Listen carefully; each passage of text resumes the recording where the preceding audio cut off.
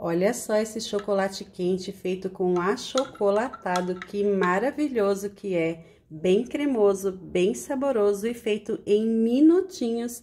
Quer aprender a fazer essa delícia? Então vem comigo!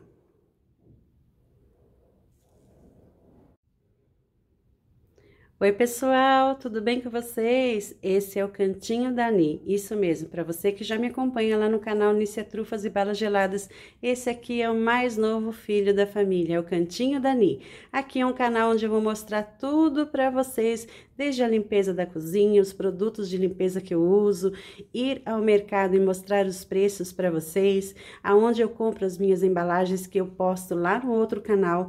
O Nícia Trufas e Balas Geladas é um canal de fácil venda. E esse aqui vai ser mais um canal do dia a dia é, fazer receitinhas práticas para você que está começando a cozinhar agora, mostrar, mostrar para vocês como eu cuido das minhas plantinhas. Então, você que me acompanha lá no outro canal e entrou aqui, já segue esse canal também, se inscreva para não perder nenhum vídeo bacana aqui do canal. Vou gravar com meu marido também, vai ser um canal bem diferenciado, vou gravar com a minha neta.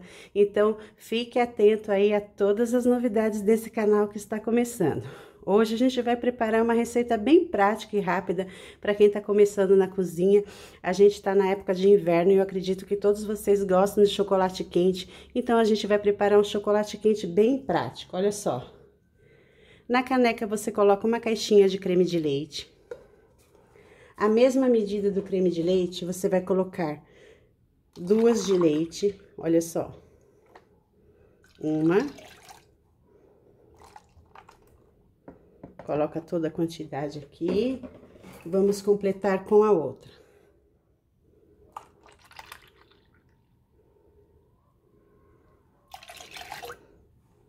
Olha que receita prática. Você pode tanto usar o cacau em pó 50% nessa receita, como você pode usar o achocolatado. Então, eu vou usar o achocolatado. Então, aqui eu vou colocar quatro colheres de sopa. Uma, duas, três, quatro. Vamos acrescentar aqui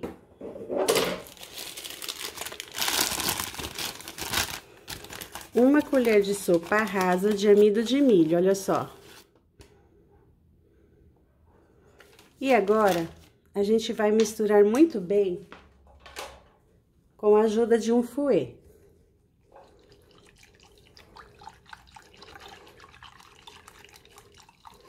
Sejam todos muito bem-vindos aqui ao Cantinho da Ni. Vocês que me acompanham no canal Nícia Trufas e Balas Geladas, já deixa aquele like aqui nesse vídeo também. Olha só, misturou bem? Eu não costumo colocar mais açúcar, porque o achocolatado já é doce. Se você gostar de mais docinho, você pode acrescentar aqui na receita duas colheres de sopa de açúcar ou colocar umas quatro colheres de sopa de leite condensado. Então, vamos levar essa delícia aqui ao fogo. Com o fogo ligado médio ou baixo, é só ficar mexendo essa delícia e já já você vai ter um chocolate quente bem cremoso para você consumir nesse inverno.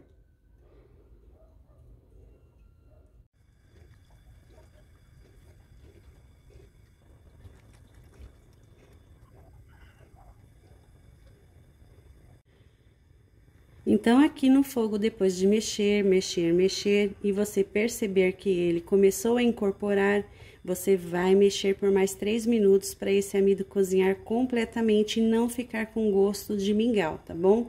A maioria das receitas ficam com gosto de mingau, porque na hora que ele engrossa, a pessoa desliga o fogo. E não é assim. Engrossou, você tem que mexer mais 3 minutos, tá bom?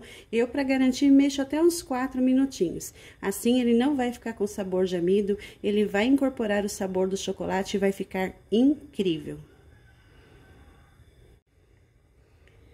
Já mexi mais 3 a 4 minutinhos aqui, ele já cozinhou completamente e o nosso chocolate quente cremoso já está prontinho, feito com achocolatado, é maravilhoso.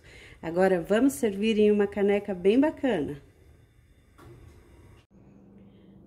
Com o nosso chocolate quente pronto, feito com achocolatado, o achocolatado que você tiver na sua casa, eu já montei aqui a nossa bandejinha com biscoitinho, maisena, ou você pode escolher um biscoito ou a bolacha de sua preferência. E essa receitinha dá para três canecas de 250 ml. Então, vou colocar aqui em duas. Olha só, nesse friozinho, que delícia! Façam, porque vocês vão amar essa receita. Olha a cremosidade desse chocolate quente. Nem parece que foi feito com achocolatado de tão maravilhoso que ele é. Bem bacana, não é? Olha só.